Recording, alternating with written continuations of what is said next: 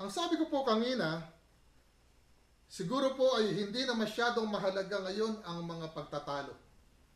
Siguro ay panahon ito ng mas seryoso at malalim na pagbubulay-bulay kung alin ba ang mas mahalaga? Alin ba ang mas makabuluhan? Ano ang kabuluhan na maipanalo natin ang isang pakikipagtalo kung hindi naman pala natin nauunawaan ang katotohanan?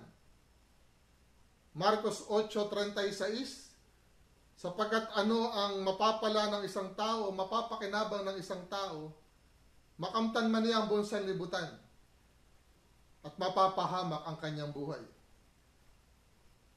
Ang totoo, lahat po tayo maaaring magkulang sa karunungan. At ang Diyos ay handa namang magbigay ng walang panunumbat. Ito po ay kung hihingin natin ito at mananampalatayang kaya niyang ibigay. Sa panahon po na ito, eh, hindi naman mahirap aminin na hindi natin alam ang lahat. Sapagkat lahat po ng tao ngayon ay nagsasabi na hindi niya alam ang lahat. Maging matatalinong tao, sinasabi nila na hindi nila alam ang lahat. Ako po mismo, naiisip ko yan.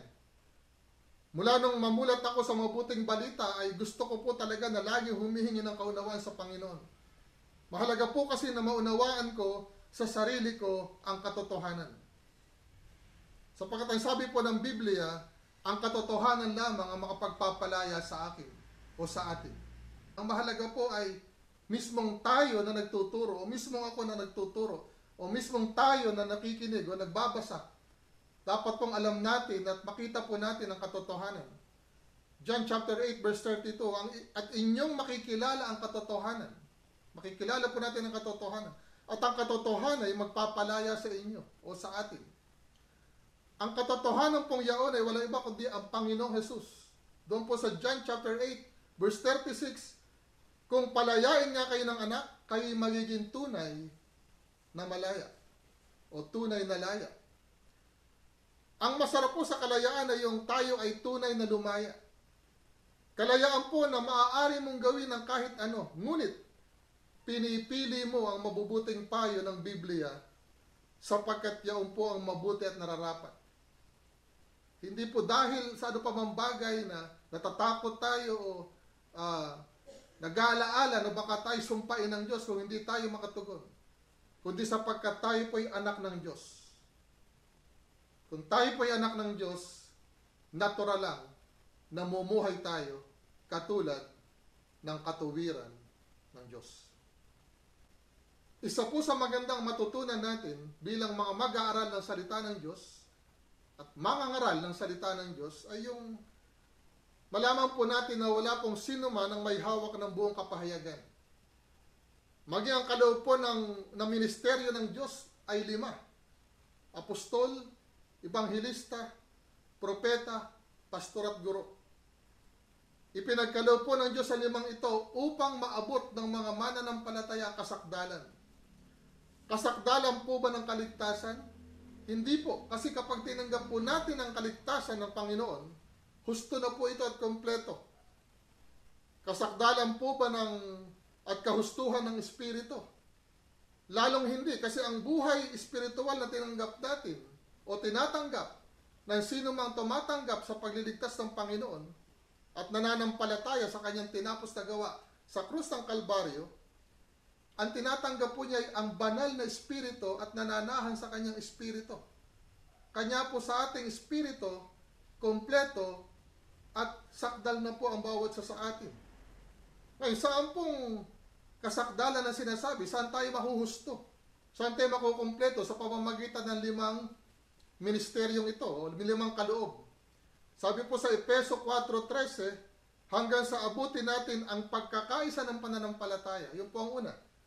Kung mali ang pananampalataya o hidwa ang pananampalataya o kulang ang nauunawaan, magkaisa po tayo sa pagkaunawa sa pananampalataya ng Panginoong Hesus. Sa anong paraan po? Sabi po rito, at ang pagkakilala sa anak ng Diyos. Napakahalaga po na makilala natin ang Panginoong Hesus ng, ng, kung hindi man ito kompleto, kompleto kagad ay patuloy nating makilala ang ating Panginoong Heso Kristo hanggang sa lubos na paglaki ng tao. hanggang sa sukat ng pangangatawan ng kapuspusan ni Kristo. Doon sa 14, upang tayo huwag nang maging mga bata pa na napapahapay dito at doon at dinadala sa magkabi-kabila ng lahat ng hangin ng aral sa pamamagitan ng mga daya ng mga tao sa katusuhan ayon sa mga lalang ng kamalian. Mga kapatid, ang karunungan po, kanya po sinasabi ng Panginoon na humingi tayo sa Kanya ay sapagkat alam po niya na napakaraming mga katuruan na nakakalat. Ito lang pong mga nakikita natin sa Facebook. Napakarami pong, is- ito po yung smorgasbord ng katuruan.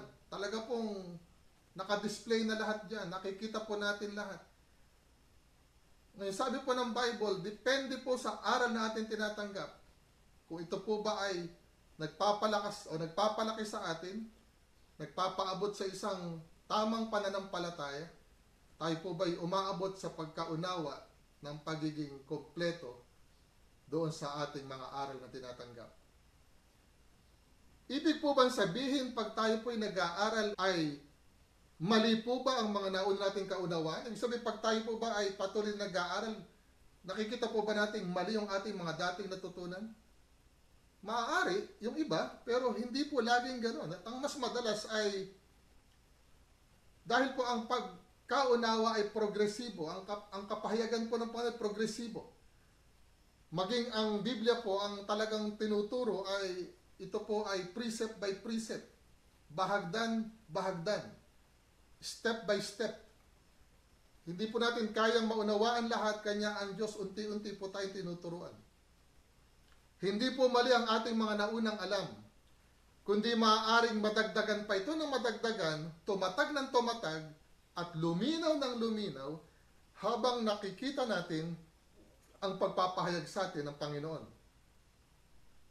Kapatid, may paggalang ko na gustong sabihin kung inaakala po natin na ang kaligtasan ay sa pamamagitan ng kaunawaan na mayroon tayo ngayon. Kung inaakala natin na sa ating kaunawaan ngayon, tayo ay nakatityak ng kaligtasan. Para bang sapagkat meron tayong pinangahawakan. Meron tayong relihiyon, anumang relihiyon ito. O anumang kaunawaan meron tayo, meron tayong pananampalataya. Kapatid, huwag tayong huminto. Humingi po tayo ng Sophia, humingi tayo ng wisdom sa Panginoon. Patuloy tayong maging uhaw sa pagkaunawa ng kanyang salita. Inuulit ko po, tatatag, lilinaw, at madadagdagan ang ating pagkaunawa. Ibinabahagi ko po ito sapagkat maganda po maging katulad tayo ng mga taga-Bireyan. Sabi po doon sa Aklat mga gawa, 17.11. Ang mga tao pong taga-Bireya ay mararangal. Sa New Testament King Version, ang pagkakabanggit ay noble. Sa original na salin, ang salitang ginamit ay may kahulugan na well-born, high in rank. Siguro sa simpleng Tagalog, masasabi natin, may mga sariling bait. Sabi po doon, mararangal ang mga ito kaysa sa mga taga-Tesalonika. Yung po mga taga-Berea ay mas mararangal daw kaysa sa mga taga-Tesalonika. Sabi po doon, sapagkat tinanggap nila ang salita ng buong pagsisikap at sinisiyasat sa araw-araw. Maganda po yung araw-araw, ngunit frequency lamang po ito. Ang mahalaga yung word na sinisiyasat. Sinisiyasat ang mga kasulatan kung tunay nga ang mga bagay na ito. Hindi po tayo pare-pareho kung mag-aral. Hindi po pare-pareho ang pagkakilala natin kaagad sa Panginoong Hesus. Hindi pare-pareho ang naabot nating kapahayagan sa salita ng Diyos.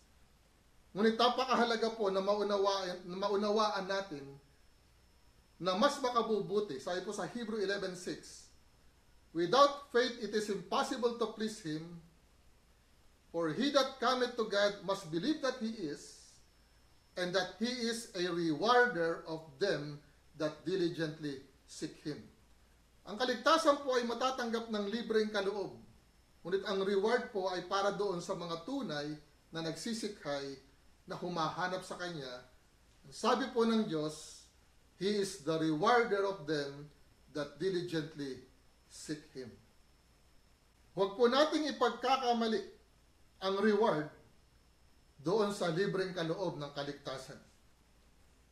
At ang reward po ng Diyos sa buhay na ito at maging sa kabilang buhay, ang lahat po ng mabuti at ganap, bukod po sa ating tinamong kaligtasan, ay matatanggap mula sa Diyos sa pamamagitan ng patuloy na mga kapahayagan na ating mauunawaan sa pamamagitan ng kanyang salita.